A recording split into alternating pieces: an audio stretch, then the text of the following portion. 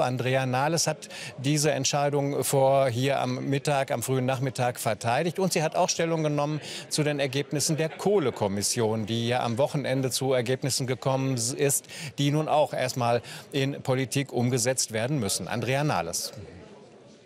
Wir werden heute beraten auch über die Ergebnisse der Kommission Strukturwandel, also Ausstieg aus der Kohle in Deutschland. Wir sind über dieses Ergebnis sehr glücklich, denn es ist äh, aus unserer Sicht ein bahnbrechender Fortschritt, wenn es gelingt, in Deutschland auf Atomstrom einerseits und Kohlestrom andererseits äh, auch zu verzichten und vollständig auf erneuerbare Energien äh, möglichst umzustellen. Wir haben das Ergebnis äh, deswegen auch begrüßt, weil es einen echten Konsens widerspiegelt. Äh, einen Kompromiss erforderlich gemacht hat von allen beteiligten Seiten. Und dass das bei so einem zentralen Thema möglich war, das freut uns auch deswegen, weil es eben die SPD war, die im Koalitionsvertrag darauf bestanden hat, dass wir ein Ausstiegsdatum für die Kohle auch definieren und dass wir zum Zweiten aus Betroffenen Beteiligte machen. Und das ist hier auch sichtbar. Da, wo wir die Betroffenen in den Regionen auch mit zu Beteiligten gemacht haben, ist trotz allen Schwierigkeiten, die eine Kompromisslösung erforderlich gemacht haben, am Ende ein gutes Ergebnis rausgekommen. Wir werden das jedenfalls aktiv unterstützen. Es muss jetzt umgesetzt werden, Schritt für Schritt. Äh, wir werden äh, die Bewertung der Bundesregierung natürlich abwarten, aber von unserer Seite aus werden wir diesen Prozess auch aktiv begleiten. Das ähm, ist etwas, worüber wir uns freuen. Der Kohleausstieg ist damit in Sicht, aber gleichzeitig gibt es konkrete Perspektiven für die Arbeitnehmerinnen und Arbeitnehmer, aber auch für die Regionen, die betroffen sind. Und das ist ein gutes Paket. Äh, zweitens äh, freuen wir uns darüber, dass äh, die Bundesregierung jetzt die Ressortabstimmung eingeleitet hat und wohl auch am 6.2. dann ins Kabinett geht mit dem gefundenen Kompromiss zum Thema 219a. Der äh, Paragraph 219a wird geändert. Das heißt, es wird in Zukunft möglich sein, dass Ärztinnen und Ärzte straffrei darüber informieren können, dass sie Schwangerschaftsabbrüche machen äh, und dass auch Frauen sich informieren können. Und das sind zwei wesentliche Fortschritte gegenüber dem Ist-Zustand.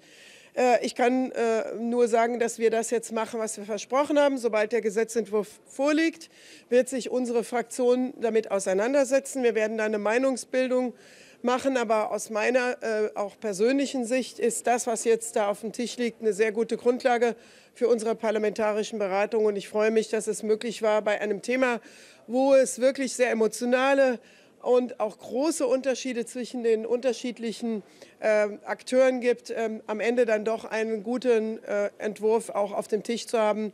Und deswegen wird das sicherlich auch heute hier bei uns in der Fraktionssitzung ein Thema sein. Also zunächst mal halten wir weiterhin als Sozialdemokraten eine Abschaffung für richtig. Wir sind aber in einer Koalition und wir haben in dieser Koalition dazu im Koalitionsvertrag überhaupt gar keine Verabredung getroffen gehabt. Und deswegen ist das, was wir jetzt erreichen können, ein großer Fortschritt für die Frauen, aber vor allem, was die Rechtssicherheit der Ärztinnen und Ärzte in Deutschland angeht. Und deswegen ist meine Sicht auf die Dinge, dass es ein guter Weg, ein guter Kompromiss. Und es wird sicherlich einige geben, die auch weiterhin eine komplette Abschaffung fordern. Das ist aus meiner Sicht völlig okay.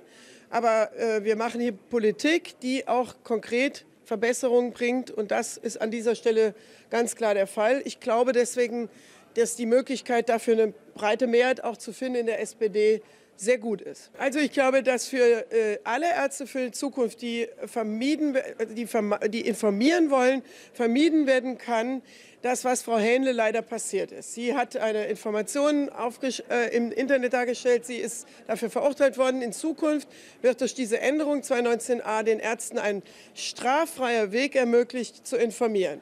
Aber Information heißt eben auch, es gibt eine Definition, was ist Information, was ist mehr als Information.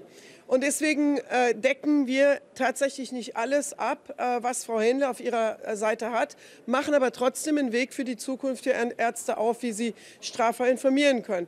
Im Übrigen, dadurch, dass wir definiert haben, dass sich die Frauen auch auf äh, den Seiten der Bundesärztekammer informieren können, wenn ich das richtig verstehe, können wir doch sehr viele Informationen bekommen Frauen können auch zum Beispiel die Informationen bekommen, welche Methode der Arzt jeweils anwendet. Und das zum Beispiel dürfte eine sehr wichtige Ergänzung sein.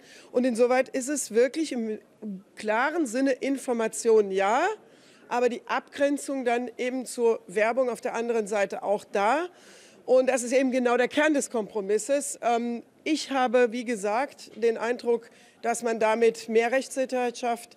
Wie gesagt, vielleicht nicht jeden Einzelfall, in dem Falle auch von Frau Händle, den nicht abdeckt, aber für die Zukunft damit für viele Ärzte eine rechtssichere Grundlage geschafft hat und für viele Frauen auch die Möglichkeit gegeben hat, sich zu informieren, wer führt Schwangerschaftsabbrüche durch und b, auch die Methode lässt sich so ermitteln.